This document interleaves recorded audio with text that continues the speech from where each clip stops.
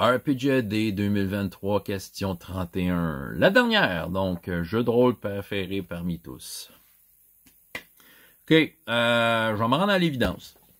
C'est celui-là. All for One Régime Diabolique. J'essaie d'être varié, mais je sais que j'en parle souvent. All for One Régime Diabolique. Le système de jeu, c'est un de mes préférés. Il a été nommé dans une des questions.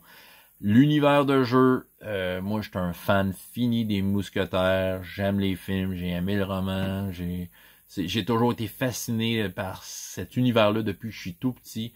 Quand j'ai eu la chance de jouer à ce jeu-là, j'étais fou comme la marde.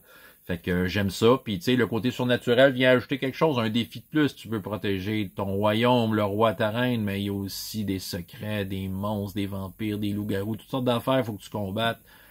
Fait que ce jeu-là, pour moi, est tout simplement parfait. Système de jeu qui te met la tension qu'il faut, qui te donne l'impression que tu es un mousquetaire, tout ça, euh, que tu vas sentir le danger, l'effort, tout ça. Évidemment, un univers, euh, tu sais, comme le, le 17e siècle, c'est vraiment plus grand que nature en France. Ça se joue très bien, ça se sent bien, tout ça.